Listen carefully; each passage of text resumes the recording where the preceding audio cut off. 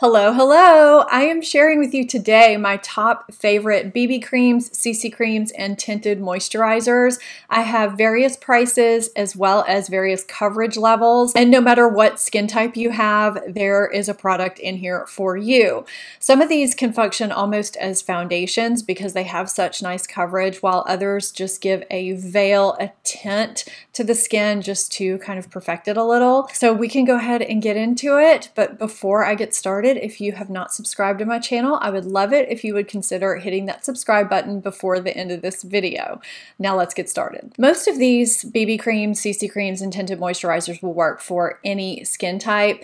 I have oily combination skin. I also have very sensitive skin with rosacea that can flare up if I use the wrong product. I think that's really important to note when you're talking about products like this. So when you're thinking about tinted moisturizers, BB creams, and CC creams, creams, you typically think about products being lighter in coverage than your typical foundation. Usually these feel good on the skin, they are lightweight. And we are talking about BB creams and CC creams. A lot of them also have SPF in them as well. They're kind of supposed to be all-in-one products that can help with anti-aging and have skin benefiting ingredients in them too. The CC cream that I'm going to start off with is kind of polarizing. I find that as popular as it is, people either love it or they really dislike it, but it is the most popular CC cream in the United States, just in terms of sales and everything else. This is the IT Your Skin But Better CC Plus Color Correcting Full Coverage Cream. That is a mouthful. This is $39.50 and there are a couple of finishes of this now. This is the original formula. This is the one that I prefer. They call this a full coverage CC cream. This is one of those CC creams that gives coverage which kind of equivalent to a foundation, but it's got skin improving ingredients in it. It's got collagen and peptides and some other ingredients as well.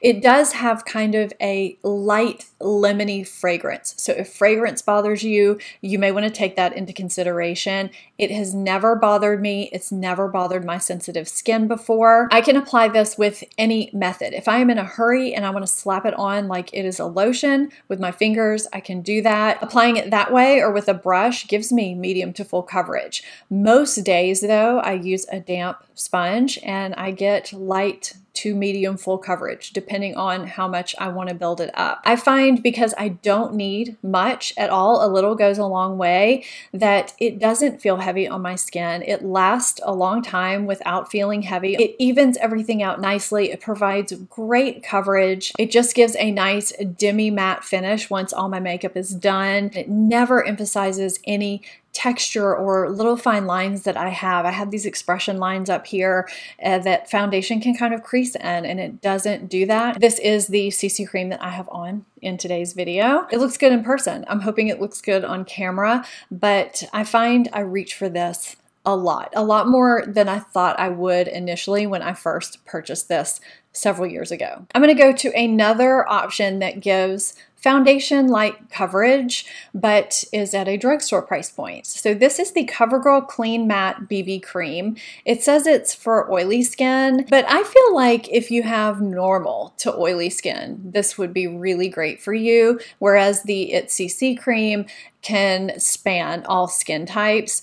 Uh, and I'm not even so sure it would emphasize anything bad on dry skin either. I'm in the shade 530 light medium. This gives light medium buildable coverage that I can use any method of application with. This feels very lightweight on the skin. This does not have any SPF. That's why this to me is a little bit more foundation like than a lot of the BB creams, CC creams that we have here. It applies easily, it feels lightweight, it lasts all day, and I love the travel friendly tube of this and the IT CC cream. I'm a sucker for just a travel friendly lightweight tube. I stay shine free with this when I use a primer. I usually do use a primer underneath most things, even most BB creams and CC creams and tinted moisturizers. It just keeps my oily T-zone from getting shiny too quickly. I've tried all of these without, and most of them just perform better in terms of shine for me that way. You don't need to use a primer if that's not the norm for you. This is a great option if you have, I would say, normal to oily skin and you want light, medium, buildable coverage, and you just don't want to feel or look like you're wearing foundation. On the other end of the spectrum, we're going to go to the lightest coverage product in this list. This is the Chanel Les Beiges Water Fresh Tint.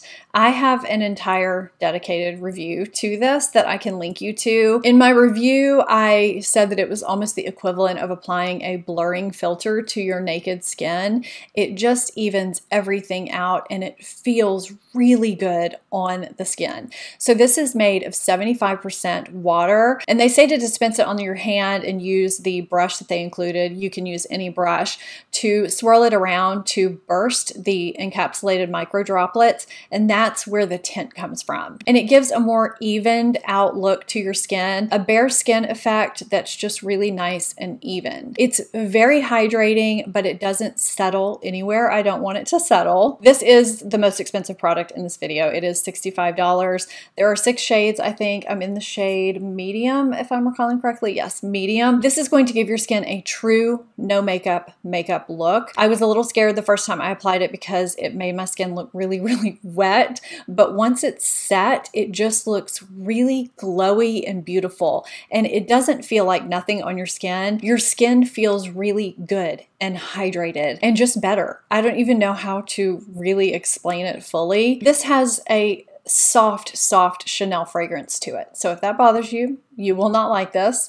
It does not bother me whatsoever and it disappears upon application. This is perfect for those of you who just want to lightly even out things and you just want a your skin but better look and you can spot conceal where you need. This is a sheer product. This is not going to be for those of you who want coverage. That's what some of the other products in this video are for. I was actually very surprised by how much I liked this because it's not mattifying. It doesn't keep me totally shine free, but but when I do get shiny, it's not greasy looking, it's just more radiant, glowy, healthy. And this is good for any skin type. I really enjoy this in the spring and the summer when it's hot out and I just want my skin to feel more refreshed and nice and I don't want to look like I'm wearing makeup. It's perfect for that. This next one is probably my most recent CC cream acquisition. And I don't know why it took me so long to try it because I've really been into K beauty, J beauty, that kind of thing lately. I feel like both do really, really great things for the skin. And I feel like there are some really great Korean and Japanese skincare products out there and makeup products as well.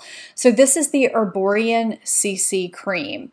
This is a high definition radiance face cream and it does have SPF 25. This is $44 and there are three shades, which may make you think that's not enough. This is a color correcting cream that has white pigments so when you squirt it out, it looks completely white and they transform to adapt to your skin tone when you start blending it into your skin. So as long as you use the shade that's in your color range, it is going to match your skin perfectly. It's magical that way. I use my fingers to apply this. It gives light coverage, not as sheer as the Chanel. It gives slightly more coverage than that, but it's still very light skin evening coverage with a soft radiant finish, but it's not too radiant for my oily skin. I definitely think this across all skin types. It's lightweight, it's sheer, it evens out the skin tone, any redness that you have, and it wears a really long time. This is a nice option, and they do also have a mini that's $22, I think, if you want to try it to see if you like it. This is a BB cream that I was not quite sold on when I first reviewed it. I didn't hate it, but I didn't really love it.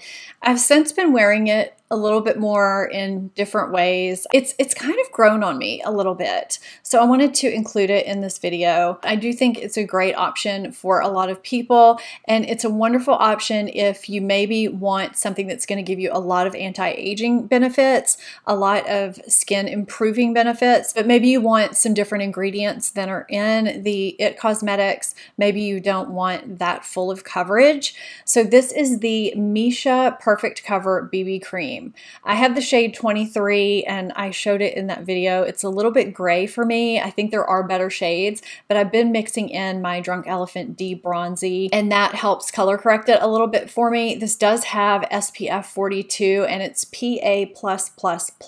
This gives medium buildable coverage. It's not going to give you that medium to full full coverage that the IT CC cream will give you, but it gives pretty good coverage. Despite being kind of thick when you pump it out, it's actually lightweight on the skin. This has ceramides, hyaluronic acid, and squalane in it, which are all really great for the skin. And it's supposed to help brighten the skin and heal blemishes and just do really great things for the skin over time. Now, I did note in my original review of it, I'll link that down below. It's included in a foundation roundup type of video. It has added fragrance and it has mineral oil, which I know are deal breakers for some people. It has not made my skin react at all. So that was my big question with this, but so far so good. And I know this is a very, very popular BB cream. I do apply it with my fingers like a lotion and it applies very, very quickly that way. And this is a BB cream that I don't need to use a primer with surprisingly enough, I can kind of go either way, which I don't know. I kind of like that. I can get ready pretty quickly with it. The drawback for me with this is how hard to remove it is. I use really good makeup removers at night, and this just sinks into the skin so firmly. It's a little bit hard to remove, so just note that. At full price, the last time I checked, it retailed for $22, but I see it on sale all the time, and you get 1.7 ounces. So this is a pretty good option for any skin type and it's pretty budget friendly as well. This is probably my favorite tinted moisturizer of all time. I have just fallen in love with it. I think it's perfect, especially for me with oily combination skin. This is the Sephora Matte Perfection Tinted Moisturizer. It's $18. I think there are 16 shades of this. I'm in the shade 7 Linen. If you have oily combination skin or if you get shiny in your T-zone, most tinted moisturizers are not really good for that. This is one that gives me a soft matte finish without looking flat. It blends in using any method I want to use and it gives me really nice light to medium coverage. It doesn't have a scent, it's weightless, it lasts a long time and it's pore blurring. I have said in the past that I feel like it's kind of a lighter coverage version of a cross between Dior Backstage and Chanel Lumiere Velvet that's how I feel about this. I feel like it's such a hidden gem. No one ever talks about it, and it's such a good tinted moisturizer. I think anyone with normal to oily skin could wear this and absolutely love it. It's really flattering. It just looks beautiful on the skin. I have an entire playlist dedicated to my top foundations for different categories.